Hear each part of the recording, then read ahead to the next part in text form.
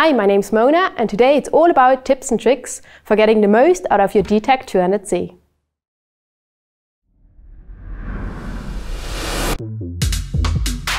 Alright, before you start with the actual measurement, there's already one thing you should consider, and that is setting the correct wall type.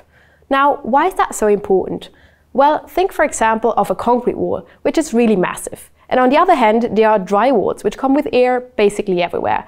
So now detecting air in a concrete wall would mean a completely different thing than detecting it in a dry wall. Therefore, it's really important that the tool knows what it is dealing with.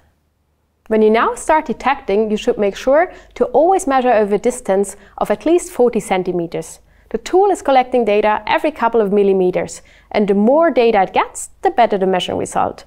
Moreover, always look at the measuring result while moving the tool back over the measuring path. Like that, the object localization is more precise. However, if you're working in a tight spot and you don't have the space to move your tool to 40 centimeters, then use spot view and you'll get a result right when you put the tool on the wall. But also here, the more you can move the tool, the better the result will get. Another tip I got for you is crosswise measurement. Um, let me explain it like this. If the ruler would be a water pipe, then what is the tool doing? It is detecting differences. So if you measure alongside the object, there is no difference and hence the object will not be found. So you really have to cross the object in order to find it. So every time you work on a wall and you don't exactly know where the object is located, always do a cross measurement so you can just make sure that you're not missing an object by measuring alongside of it. Have you ever wondered how the D-tect gets to its measuring results?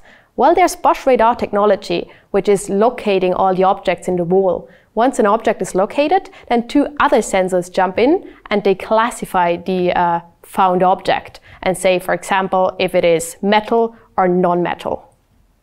If you have now detected an object, then there are two possibilities to mark their location on the wall. For the first one, move the tool so that the object is centered on the center line in the display.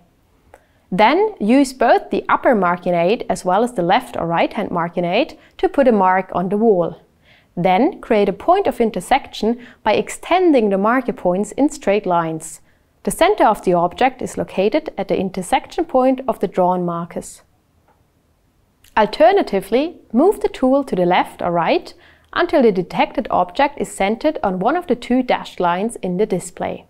The object is located under the corresponding outer edge of the tool. Next, draw a line along this outer edge on the substrate. Mark the position of the corresponding lateral marking aid and create a point of intersection. That's where the detected object is at. Alright, that was it. So thanks for watching. I hope you liked the video and if you did, then leave a like and um, write some comments, follow our channels and see you next time. Bye! Outtakes. Moreover, it's important that you always look at the measuring... Another tip I got for you is cro crosswise measurement. When you now start detecting, you should make sure to over...